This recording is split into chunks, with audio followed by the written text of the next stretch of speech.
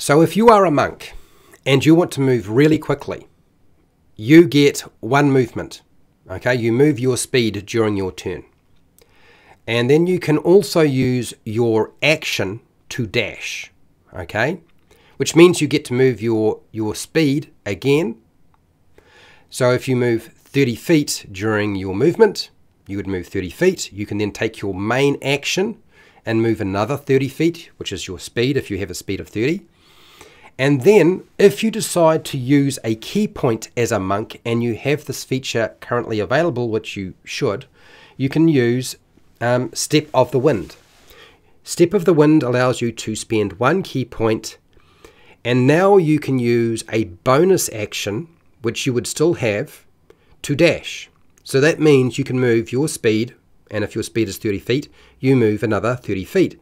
So if you have a character that moves 30 feet, you can use your movement to move 30 feet, your action to move 30 feet, use the step of the wind with a ki point, burn that up, and you move another 30 feet, which means you can cover 90 feet.